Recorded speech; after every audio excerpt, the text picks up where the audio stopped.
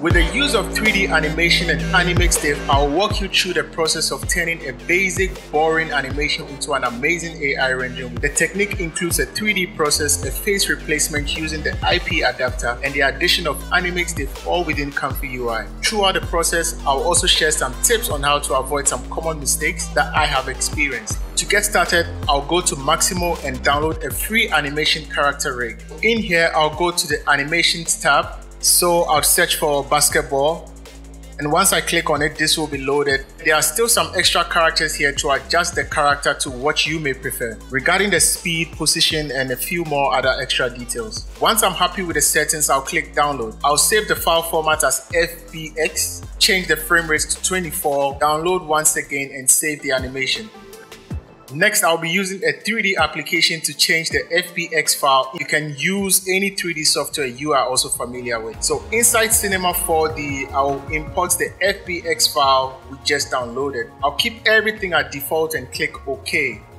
We can see we have the character with no issues and everything is just in position and rigged for us from Mixamo. I'll add a few more details to make this more creative so since he is bouncing a ball, I would also like to add a basketball. I'll select a basketball from the free assets. Make sure the ball is in the right position under his right arm since we are working in a 3D environment.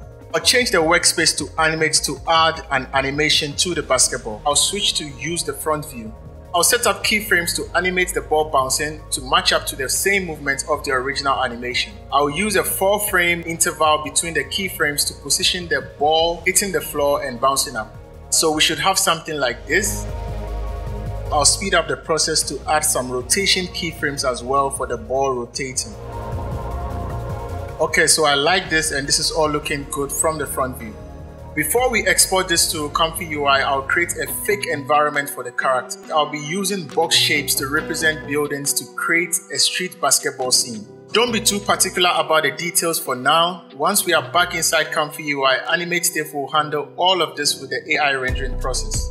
Additionally, I would like to add a camera animation to this since I'll be changing the focal length of the camera properties just to create a simple zoom in and zoom out animation. Bring my timeline uh, to the middle. I'll also drag this keyframe all the way to the end. I'll change the focal length and keyframe the focal length also at the end. Uh, so the results will be similar to having a loop animation of the character and also the camera movements. In the top icons, I'll click to add an infinite light to the scene. I would also rotate this to make sure everything is visible and in a good position. I'll move on to the render settings. I'll change this to 800 by 800. I'll skip the rendering process to see the results from everything we have so far from the animation. So this displays a loop animation of a character bouncing a basketball in a street scene with buildings and palm trees. From our 3D animations, you can use any software to resize the video I have resized the video here to 512 by 512. I'll duplicate the video to have a 5 second loop animation. And once this is all done, I'll render everything into a 5 second animation. Inside Comfy UI, I have explained how to build this workflow by using Animate and the LCM nodes in my previous videos. I would also include the link now right above. So we will be modifying this workflow with ControlNet to use our 3D animation workflow which we created. I'll move up here to build a workflow for ControlNet. For the first node, I'll right click to add node, go to the advanced control net and apply advanced control net node.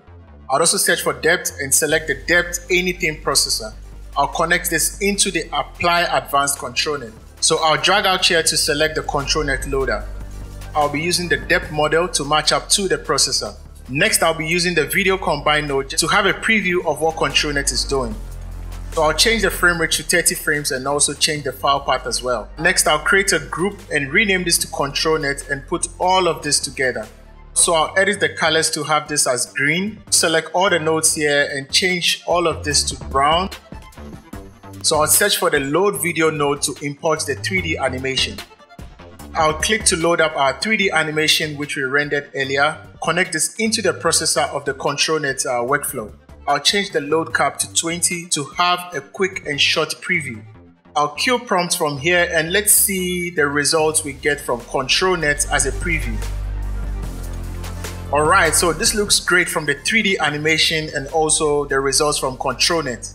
Uh, from here, I'll zoom out and let's go ahead to combine this workflow to Animate Diff. Uh, I'll just tidy up a bit and move things to the right. I'm first going to disconnect Animate Diff from the sampler node into control net Advanced. Disconnect the positive to send into the Advanced control net node. Also, we'll do the same for the negative prompt as well. Next, everything goes back into the sampler custom node from the Advanced control net node.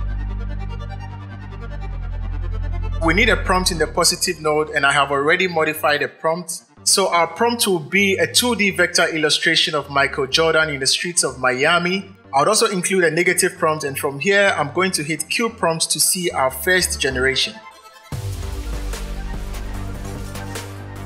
Alright, so just by inputting a 3D animation with no textures, we have this AI rendering from Animate Diff without even doing anything. We have our own camera animation inside of Animate Diff. ControlNet might be too strong, so I'll move on to lower this a bit. Uh, for the strength, I'll bring this down to 0.7 and also the end percent to 0.7. So in our prompt, we also included Michael Jordan with some weights. Let's see if the IP adapter can help with that. I'll move down here to build a workflow for the IP adapter. I'll right click to add a node IP adapter and use the IP adapter advanced node. I'll right click again to add a node IP adapter and use the unified load node. Connect the unified loader into the IP adapter advanced. Since we are going for a face replacement, I'll use the model for a full face SD 1.5 only. Next, I'll search to add a load image node. So from here, I'll load the face image I want to use to be replaced. Search for the prep image clip vision node, which is going to help me to just position this in the center. And I'll also change this to 0.5. Next, I'll connect this to the IP adapter advanced node. I will drag out to use the preview node to also see the results from the IP adapter. I would switch from linear to ease out inside the advanced node. Alright, so everything came out correctly. I'll rename this to phase and group all of this together. So let's see the outcome by combining uh, the IP adapter workflow to the workflow we have so far, which is very easy. To do this, I'm going to disconnect Animate Diff from the ControlNet node, which now goes into the IP adapter unified loader. I'll send the IP adapter advanced node into the ControlNet advanced node. And that's all we need to do in here, I've also increased the latent image size to 960 by 960 and I'm still keeping the one by one aspect ratio. And I'll queue prompt to see our results by including IP adapter for the face.